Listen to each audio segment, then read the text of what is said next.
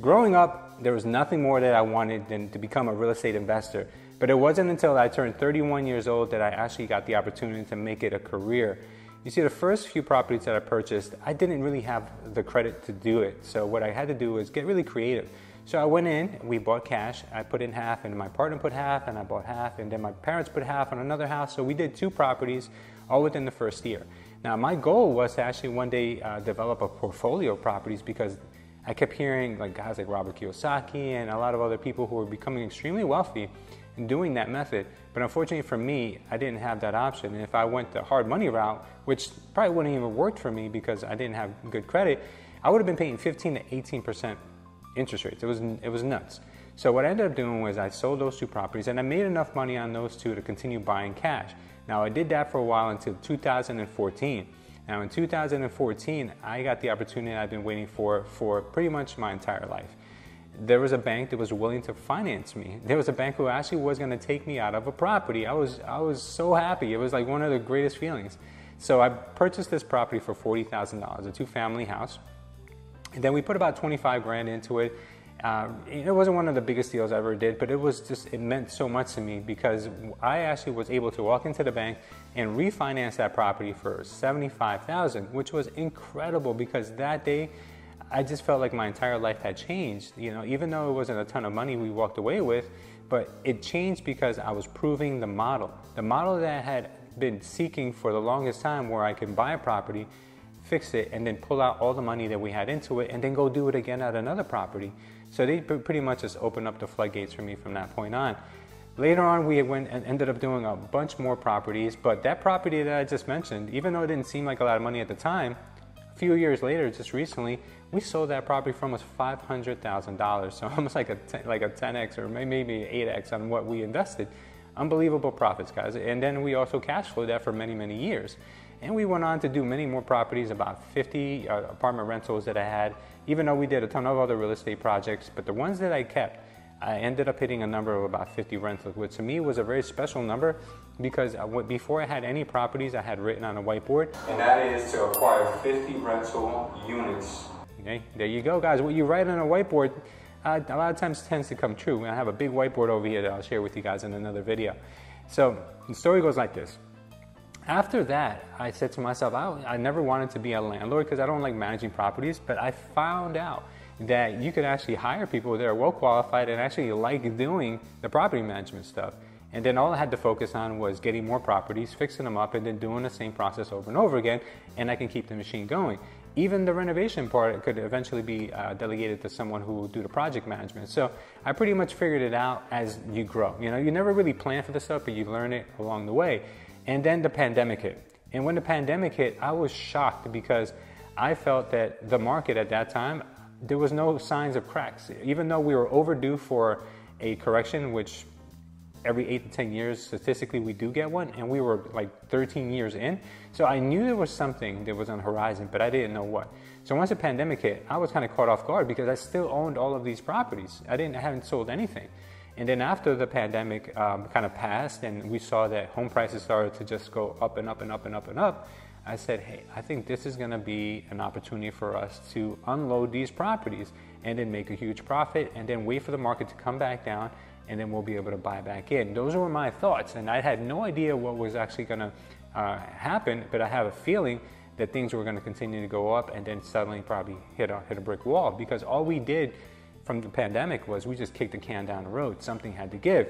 So in this video, I'm going to give you my top three reasons why I unloaded all of my properties, well, majority of my properties. I think I still have like about three left and then the ones I'm buying here in Florida. But the reason why I did it, and I think, I'm pretty sure right now, I feel like I, I probably made the best move I could have and how I'm preparing myself for the next opportunity.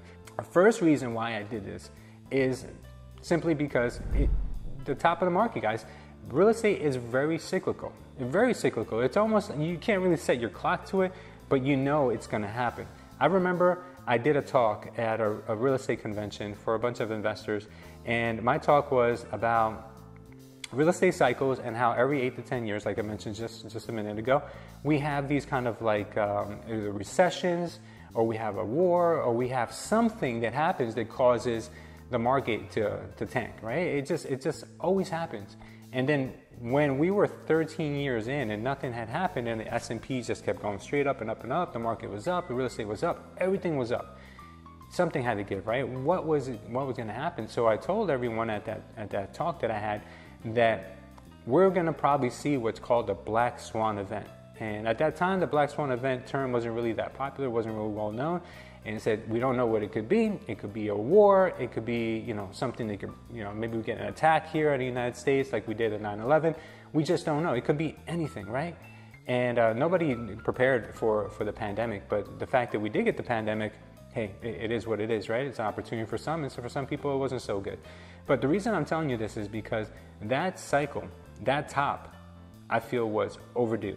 And uh, that's the reason why I'm, I was getting out, is because when you get to a point where there's uh, too much exuberance, too much speculation, too much easy money, low interest rates, you get all these things piling up together, they create this ultimate bubble. And that's what I felt like we were in, especially after the pandemic when all this free money and, and easy money came around. I said, no, now is the time. like, now is the time.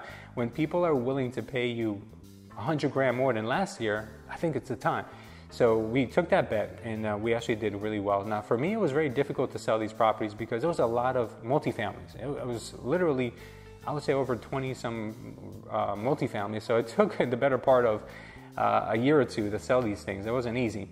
But now I'm better prepared for what's on the horizon, you know, and, and I think that if we look back, we can see it's always, you know, hindsight is 2020. But the signs are always there, but sometimes we choose to ignore them. But that's not what I was going to do. I was going to make sure that I took advantage of that cycle because I did too much.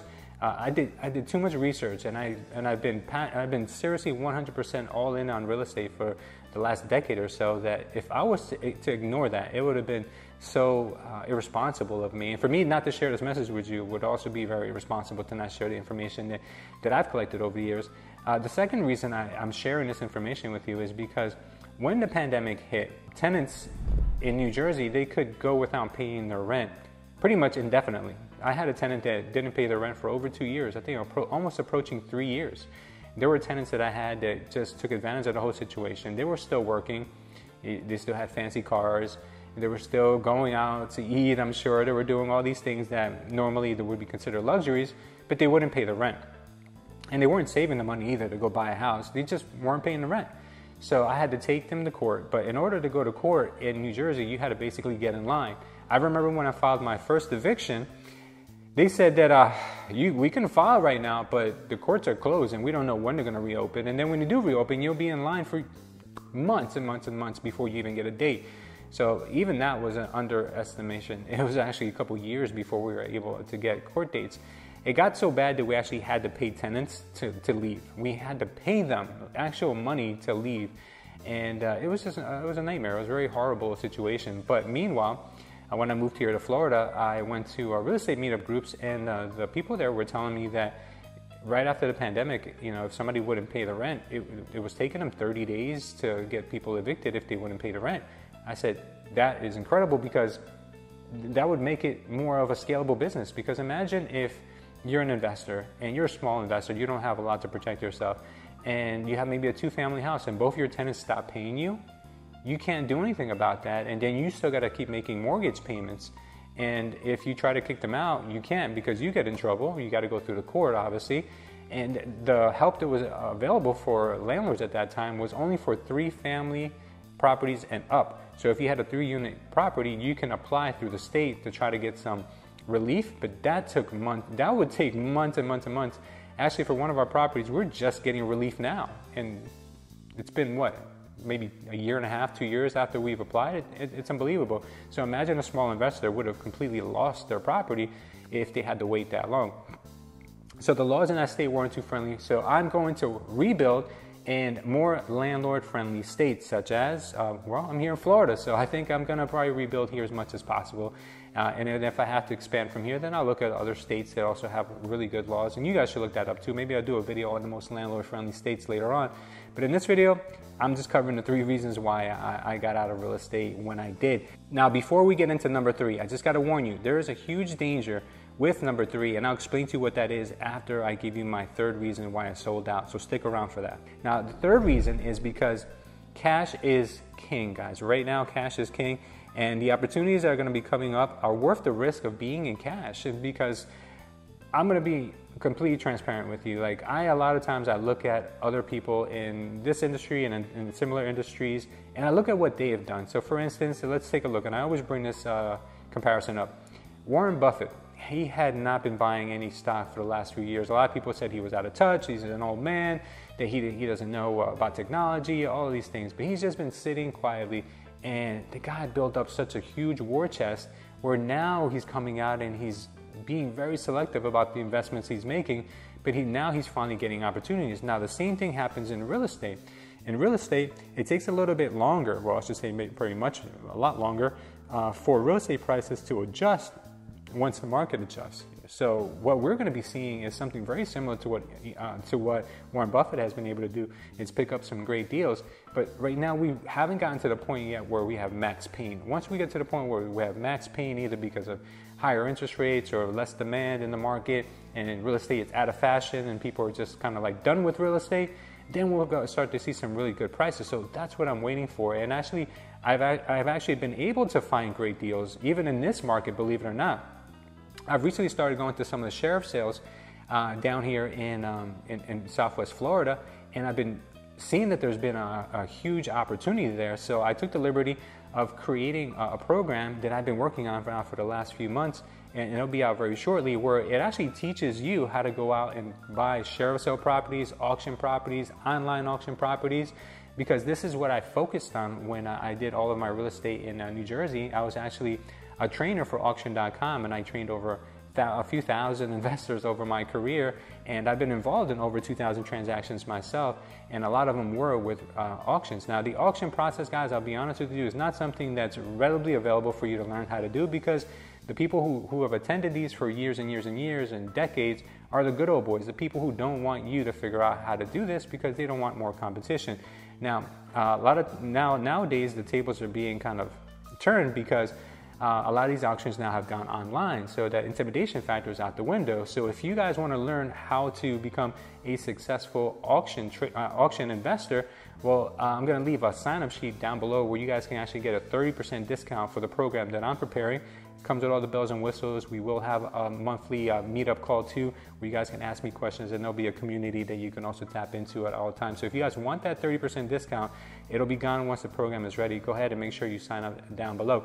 Okay, so now the biggest danger that I foresee in being in all cash or being in a high cash position is inflation. If you're in a cash position for way too long and you're in an inflationary market, well, your money starts to lose value. But in situations such as we are right now, where we have high inflation, but we also have the Federal Reserve trying to combat that inflation with higher interest rates, well, that also causes mortgage interest rates to go up. Where if mortgage interest rates go up, then asset prices come down. So as long as we can beat the, um, I guess, the loss of value in the dollar, as long as we can beat that out, because we're getting uh, home prices coming down more uh, or quicker, then that's a good position to be in. And I believe that that is exactly the position that we are going to be in. I feel that real estate prices from the top can come down easily in certain areas 50%. Now, I don't think we're going to get 50% uh, in inflation anytime soon in the same amount of time that we're going to see that the price drop, but hey, we don't know what the future brings, right? Anything is possible. So that is probably one of the biggest dangers. So the question is, how do we know when we should start accumulating real estate? When is the right time to actually buy our next property or the first property or whatever the situation you're in? Well, I'll be honest with you. I have never looked for the bottom or to the bottom to uh, buy real estate. I've always looked for the opportunity, opportunity no matter uh, when it is. So let me explain to you what that opportunity looks like. If you can buy a property where the formula that I use is something that actually makes sense where the property will cash flow or if it makes sense if you want to flip a property. Now, I'm not into flipping properties. That's not really my bread and butter. Uh, I'll do it if it's a super, super home run and, and I don't have any interest in keeping it. But my go to has always been uh, creating a portfolio of properties. And if it fits that formula, then it doesn't matter if we are at the bottom. It doesn't matter if we're at the top. You know, it just matters that that property fits that criteria. And if you want to know what that criteria is exactly, well, check out this video right here where I explain all about it. I'll see you guys over there in just a few seconds. Thank you for watching. I love you, and I will see you next time.